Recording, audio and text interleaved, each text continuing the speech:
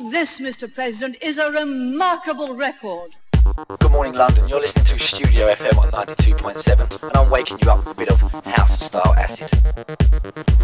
Saturday night in South London, hundreds of young people are gathering for the latest craze, an acid house party in a disused warehouse. Coaches will take them to a destination which has deliberately been kept secret to evade the police. The, the biggest hypes that have come on the music scene in recent years. Drugs, sex, sensational. Some newspapers have called acid house music a sinister and evil cult which lures young people into drug taking.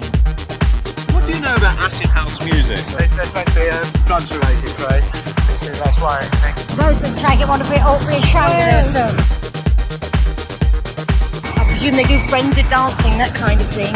Probably out of control, not behaving like normally they would. All them lights flashing don't do you any good either. Sorry, I'm driving you mad. This is acid, man. Only a mile away from the warehouse, the bus is intercepted by the police. The party's been closed down, finished. We know about it, it's all finished. We've taken it all down. The police told us that nobody had complained and there was no evidence of drugs. A lot of the police here are very understanding. I don't think they really want to be here. I think they've got better things to be doing, you know.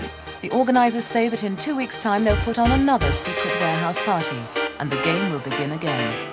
This goes out to the newspapers and the media. Acid isn't all bad.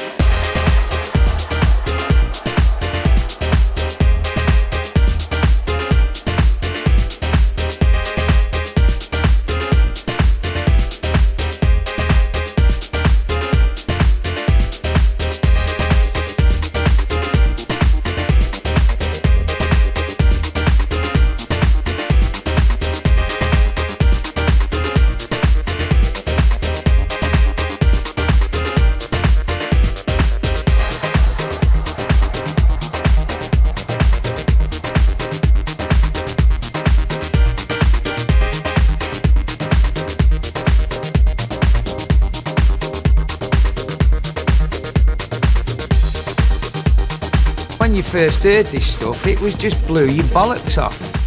It was a revolution. Some, you knew things were going to change.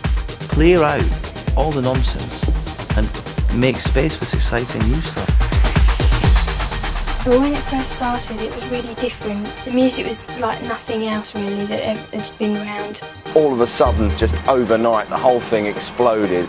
Peace, happiness, and, and yeah, there was a lot of love in the air. I can believe that that was the power of what was going on. Millwall and Chelsea dancing together, hugging each other. You get black, white, rich, poor, everybody, everyone really coming together. And that excitement was contagious. People just wanted more and more of it. You couldn't control it. Once it was out of the bag, it was out of the bag. This is our land, this is our country, and we want to party, and why not?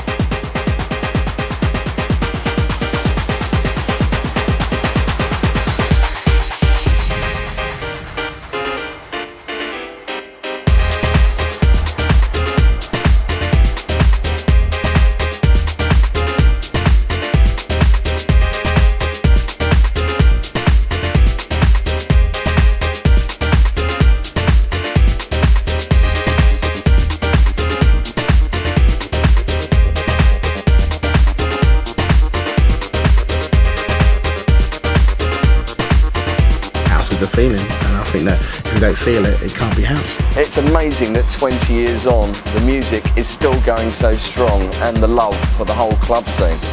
And that's a major achievement.